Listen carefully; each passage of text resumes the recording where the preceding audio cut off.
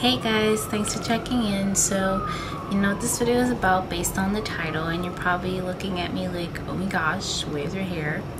So, uh, this video is going to do two things. It's going to be a thank you and I also want this video to inspire.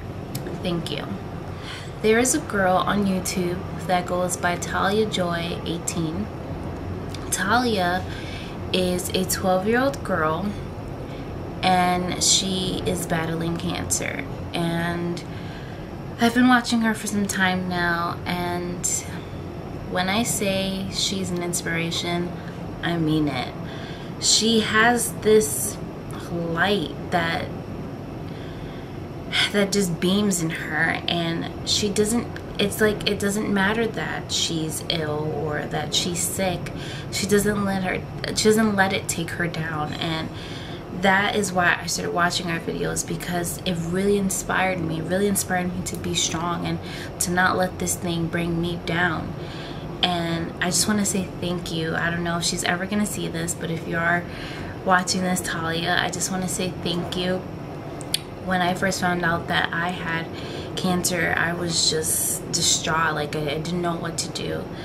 And I had to find my way. And just when I was there to being strong, I came across your videos and it was just a big eye-opener and a big inspiration and you're so I'm so much older than you and I couldn't find what you have inside and now I feel like I'm there. I'm not completely there, but I'm there. I'm, I'm better than what I was before. So I just want to say thank you, Talia, for instilling a light in me. The light that beams in you is gonna start burning in me. And I just want to say thank you. And I know you're staying strong, but I just want to say stay strong. You are a fighter. You are a warrior. And I just want to say thank you once again for making me strong for making me believe that you know cancer is not a thing that should bring you down at all so thank you talia inspire in november of 2011 i was diagnosed with stage 4 hodgkin's lymphoma and it wasn't something I saw coming. Um, there were signs that I didn't notice. I was losing a lot of weight, but I just thought, you know, I'm just not eating. I just don't have the same desire for food anymore. So I didn't think anything of it. Uh, I was losing weight and um, I was having night sweats and uh, I started growing these uh, um, enlarged lymph nodes and I had one in my neck which is why I have a scar because I had a biopsy of it which is what declared um, that I had cancer and uh, I didn't know what to do I was I felt like I was in another universe I, I it wasn't real it wasn't happening to me you don't think that one day you're gonna wake up and yeah you have cancer and it was a shock to me because I've never been sick. I've always been the healthy one in my family. I never even had a tooth pulled. And it was hard. It was really hard to deal with and there was a lot of times I cried and I said, why, why, why, why, why? And I wasn't okay. I was not okay. My family definitely helped me. Uh, my sister definitely helped me to you know, is this isn't something I can change. This is something that I can only fight. And I started, you know, trying to see who I was, how strong I could be. And now I see I am one strong woman. I have I am now at a point in my life where I don't see cancer as something that's gonna bring me down and that's my enemy. If anything cancer has made me stronger. Cancer has made me has changed my life completely. It's made me see things totally different. It's made me value life more. It's made me it's made my faith even stronger and that's one thing that I want to instill in you if you have cancer if you know someone who has cancer if you just found that you had cancer or if you are currently battling cancer I just want to say that you have to find your inner strength. You have to know that you're going to be okay. You can't go through life wondering if buts or whys. You have to know that you are strong, that you can beat it. And once you beat it, you can take on anything. Do you know that you are the strongest person in the universe? You are the strongest person in the universe. So many people who wouldn't know what to do if they had this. They wouldn't. And that's what makes you so special because you're doing it. You are the one that's battling. You are doing the greatest fight that you were ever going to fight. And you have to walk with that torch in your hand like you're in the damn Olympics. And you have to find your victory. To the cancer patients out there who are probably watching this, you have to pick yourself up. You cannot let yourself go into a stage of depression. I, I know how you're feeling. I, I I'm not sitting here as a cancer survivor. I'm still battling cancer. I, I thought I was done, but my cancer unfortunately has come back and I actually start chemo once again this week. And I'm going on a whole new drug that hasn't even been on the market for so long. So I'm kind of scared about the side effects. And I'm also going to require a stem cell transplant. So I'm going to be in the hospital for like a whole month. So I'm definitely nervous. I'm not going to sit here and lie and say oh things are going to be so easy I'm nervous. But just because you're nervous doesn't mean you can't be strong and positive. You have to be positive. You can't go through this thinking negative. Please if there's one thing you can do for yourself is to be positive. If you're to be negative you're not to get better.